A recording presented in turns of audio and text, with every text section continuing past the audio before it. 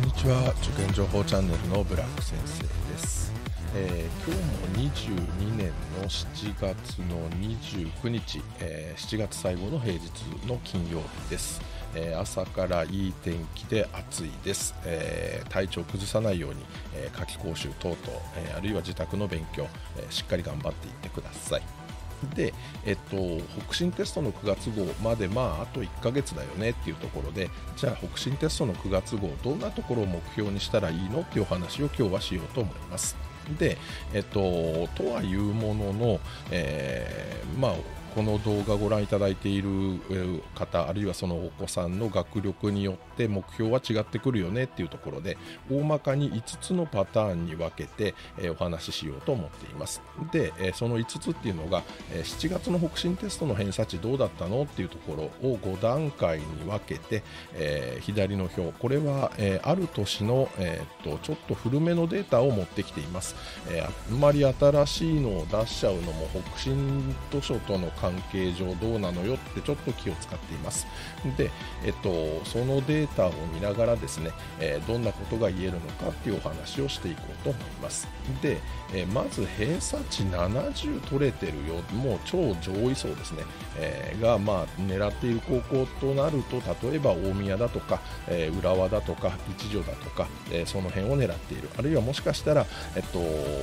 県外の私立を第一志望にしているなんていう子も多いのかもしれないですで、えー私立を目標にしている県外の私立等々ですね難関校ですね、えーまあ、県内だと早稲田慶応あたりですか、えーその辺を目標にしているっていう方だと、えもうこの、え北進テストの偏差値っていうのはもう何の当てにもなりませんので、えそちらはそちらで、え頑張っていっていただく要は難問を解けるようにしていただく、え科目を絞ってでもそちらに対応できるようにしていくっていうことが必要になってくると思いますけれども。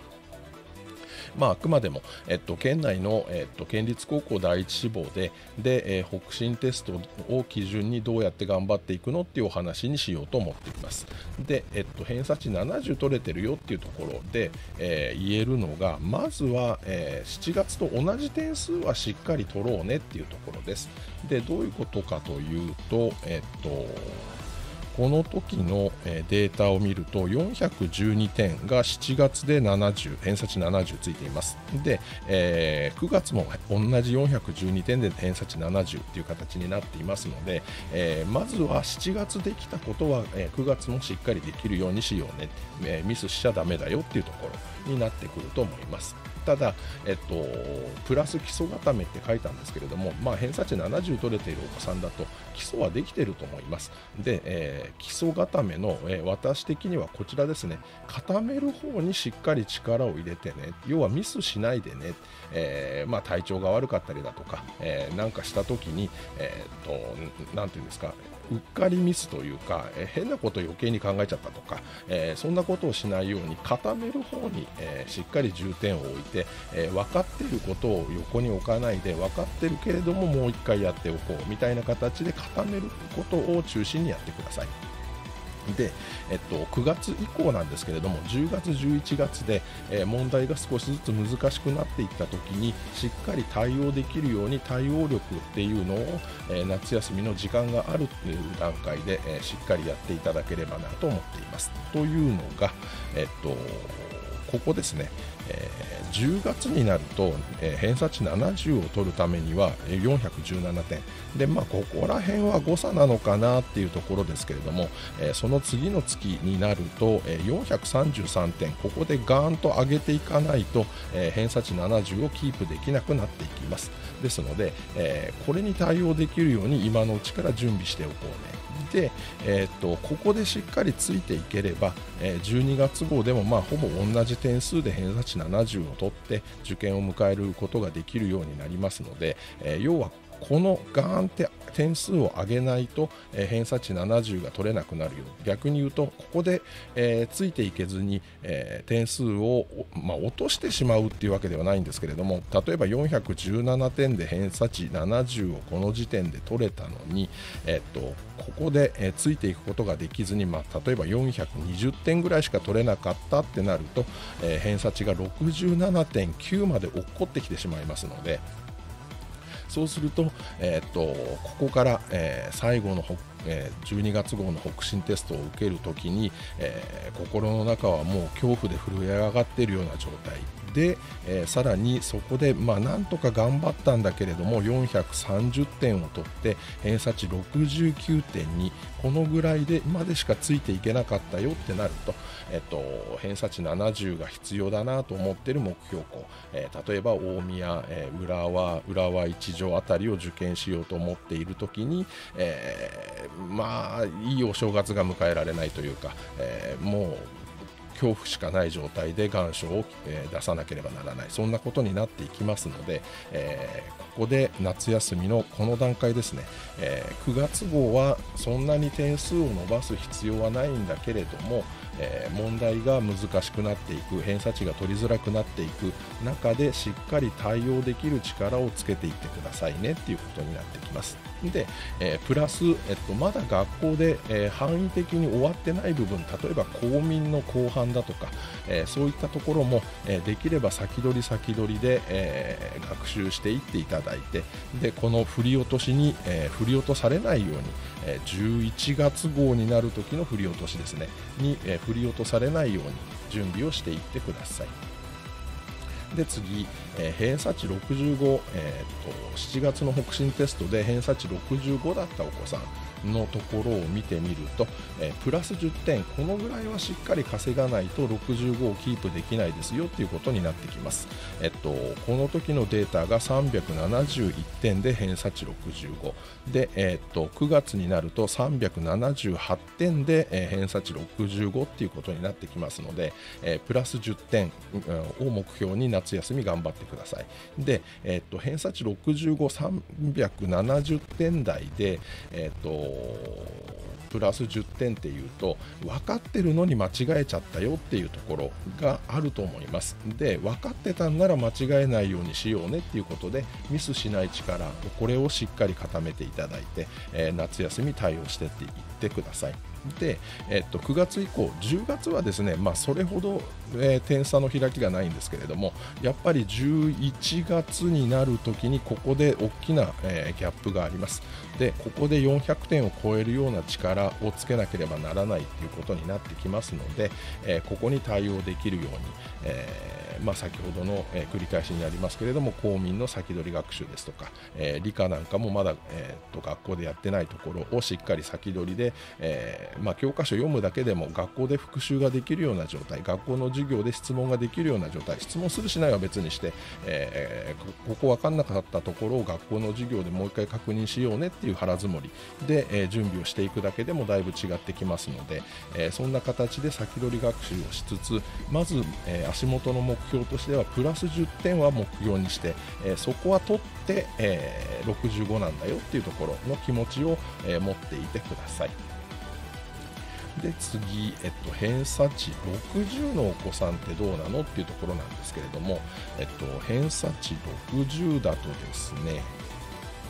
もうここにいきなり振り落としがあります、えっと、夏休みが明けて、え点数がここで、えー、っと約323点から340点ですのでここで20点プラスしないと、え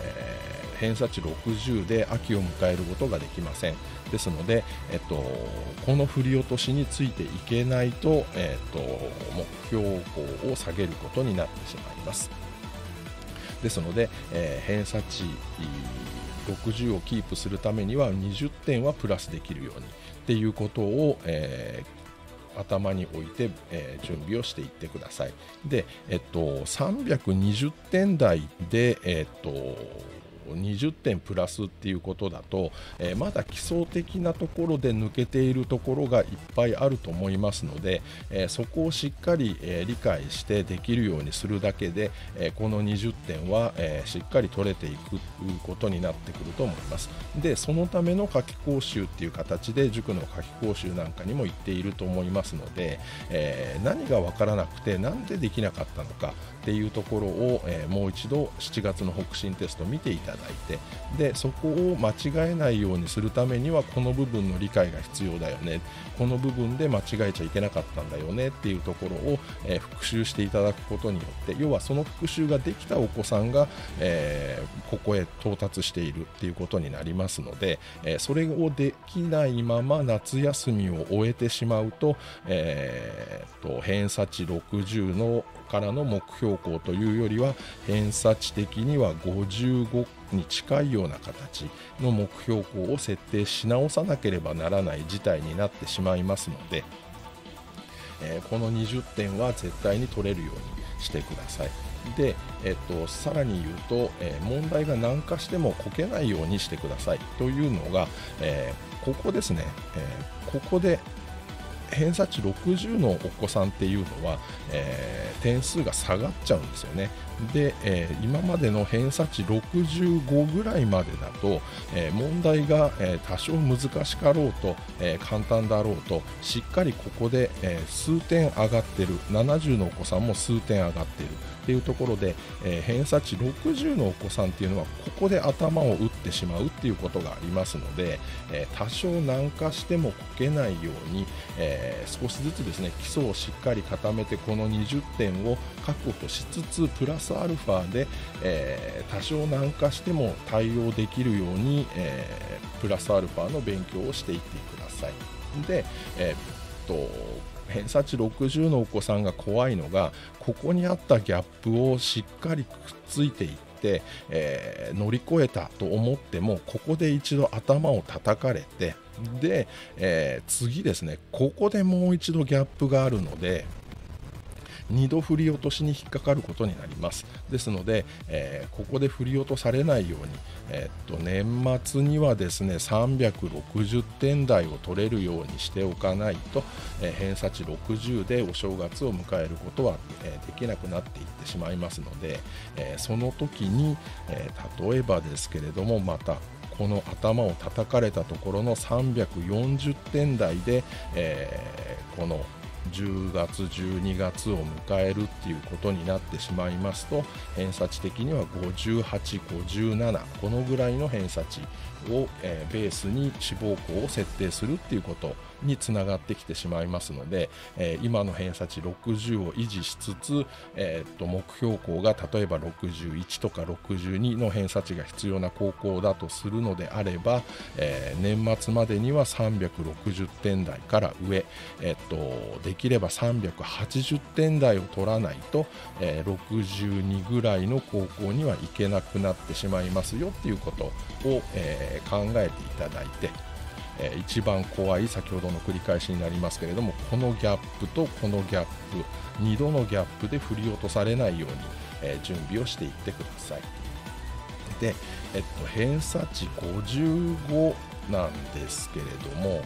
偏差値55だと274点っていうこの時のデータです、え7月号がここですね。で、えここに大きなギャップがあります。で、えー、プラス30点しないと55はキープできないよっていうことになってきます。で、え、このギャップにしっかりついていければ、え、ここでまあ頭を叩かれて、えー、問題が難しくて偏差値的には点数的には取れなくても偏差値が出るような状態になったとしても、えー、このギャップにもう一度ギャップがあるんですけれども先ほどの偏差値60と同じような形で、えー、こちらのギャップの方が小さいギャップここのギャップが大きいギャップになっていますので、えこのギャップにしっかりついていければ、えっと、11月12月のギャップここでついていけなかったとしてもこの辺の偏差値要は54、53この辺の偏差値が取れているっていうことになりますので、えー、まずはここをついていかないとお話にならないよでここにさえついていけて300点台をの一番先頭ですね。300から305点ぐらいまでが取れる力をしっかり取っていただければ、えー、今の偏差値マイナス1ぐらい54ぐらいの、偏差値で、お正月を迎えることになりますので、そうすると,、えーとまあ、最後のひと踏ん張り1ヶ月2ヶ月もう一度頑張り直すことによって偏差値55の高校には、まあ、受験できるんじゃないのかなっていうところになってきます。ですので、え、まずここでくじけちゃだめですよ。この大きなギャッププラス30点っていう目標を、え、しっかり、えー、クリアできるようにこの夏ここで踏ん張らないと、え最悪こういう状態ですね51っていう数字が見えてきてしまいますのでこのままでいくと51偏差値51で、えー、安全を見て高校受験って考えると偏差値50ぐらいの、えー、学校を受験することになってしまいますのでこの30点っていうのはしっかり取ってください。で偏差値50になってくると,、えーと、偏差値50がもうこの表から切れてしまっているので50.5を目安につけたんですけれどもここにもうとんでもない数字を点数ここで稼がないとっていうのが大体40点です。えー、この夏休みに40点プラスえー、できれば、えー、先ほどの偏差値55と同じですね、えっとまあ、49.7っていう数字が出てますのであと横ばいでいっても偏差値50の、え高校は受験できそうだなっていうことが言えるんですけれどもここのこの夏休みでしっかり頑張れたか頑張れなかったかこの40点をしっかり確保できたかみんなについていけたのかどうなのかっていうところが、えー、まあほぼ受験を決めてしまうっていうことになってきます。まあよく言われる、えっと、夏は受験の天王山なんて言いますけれどもまさにこれがこのパターンですね。偏差値50、55この辺の、えー、お子さんが、えー、夏休みにプラス30点プラス40点。ここのこのギャップについていけたかどうなのかっていうところが、えー、大きな勝負になってくるっていうことがこの表を見ていただいても分かると思います。ですので、えー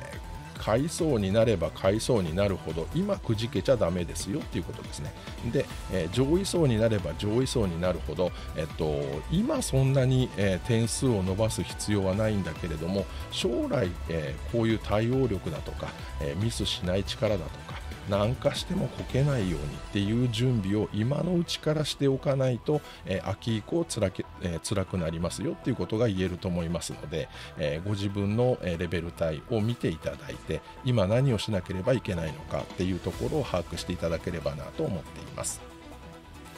では今日のお話はここまでです、えー、ぜひチャンネル登録していただいてまた次の動画でお会いしましょう。さよなら。